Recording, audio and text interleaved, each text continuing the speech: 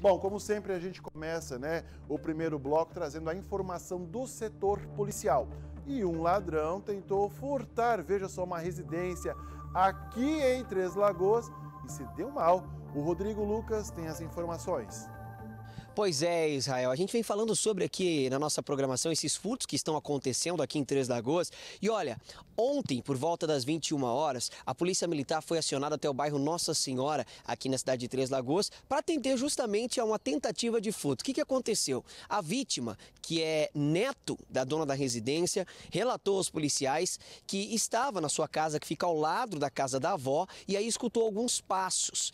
Ele ligou a luz de fora e prontamente o cara ó, vazou, deu sebo nas canelas. Ele automaticamente ligou para a polícia, a polícia foi até o local e ao chegar na residência da avó, que está viajando, eles constataram que havia alguns utensílios fora da residência, ou seja, o ladrão já estava preparando tudo para furtar esses objetos.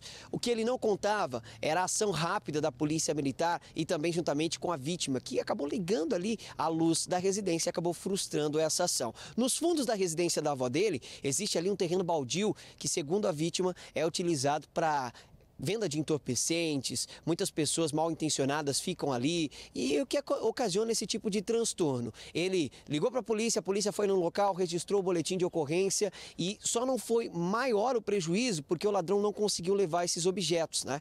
Agora ele veio até a delegacia, registrou esse boletim de ocorrência e a polícia agora vai tentar identificar quem seria o possível autor dessa tentativa de furto aqui na cidade de Três Lagoas. Israel, eu volto com você ao estúdio.